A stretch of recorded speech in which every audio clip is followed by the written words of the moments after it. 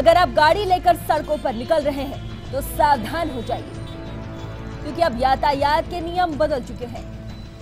नया मोटर वाहन संशोधन विधेयक 1 सितंबर से लागू होने के साथ ही दिल्ली से सटे हरियाणा में गुरुग्राम पुलिस खासी सख्त नज़र आ रही है। मंगलवार देर रात, ट्रैफ़िक पुलिस ने न्यू कॉलोनी मोड़ के पास ओवरलोड ट्रैक्टर ट्रॉली के चालक को उनसठ हज़ार का चालान थमा दिया। क्यों कटा ट्रैक्टर ट्रॉली का उनसठ हज़ार का चालान। चालक लाइसेंस, आरसी, फिटनेस प्रमाण पत्र नहीं मिला। इंश्योरेंस खतरनाक सामान रखने और खतरनाक ड्राइविंग का आरोप।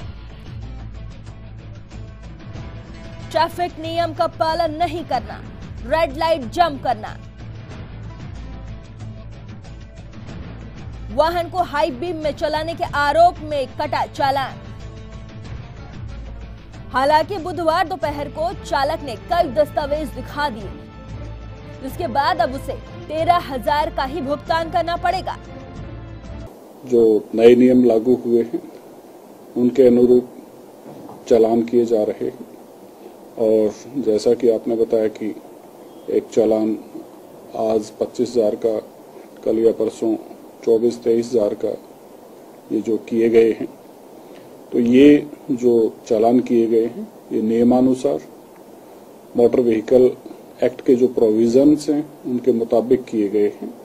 और जो चालान किए गए हैं, इसमें जो डॉक्यूमेंट्स जो ऑनर है जिसका चालान कटा है, अगर वो बाद में पेश कर देता है उसके ओरिजिनल डॉक्यूमेंट्स तो उसके फाइन से डिडक्ट हो जाते हैं। वहीं एसीपी क्राइम की माने तो हज़ारों रुपए के चालान से लोगों को डरने की ज़रूरत नहीं है। ट्रैफ़िक नियम का पालन करें और वाहनों के कागजात साथ में लेकर चलने की अपील की है। मेरी सभी जो लोग हैं, उनसे प्रार्थना और एक संदेश भी है कि वो फाइन या इस तरह की अफवाहों पर न जाएँ, बल्कि जो मोटर व्हीकल एक्ट के जो नियम बनाए गए हैं, वो पब्लिक इंटरेस्ट में ही हैं। उनकी पालना करें। उनकी पालना आवश्यक है। इसमें जो आदमी अपने सभी जो ये नियम है, उनकी पालना करते हुए रोड पर गाड़ी चलाते हैं, उनको किसी भी प्रकार का इसमें कोई संकोच नहीं होना चाहिए। गुरुग्राम पुलिस की तरफ़ से साफ़ कर दिया गया है कि ट्रैफ़िक नियमों का उल्लंघन करने वालों को अब बख्शा नहीं जाएगा।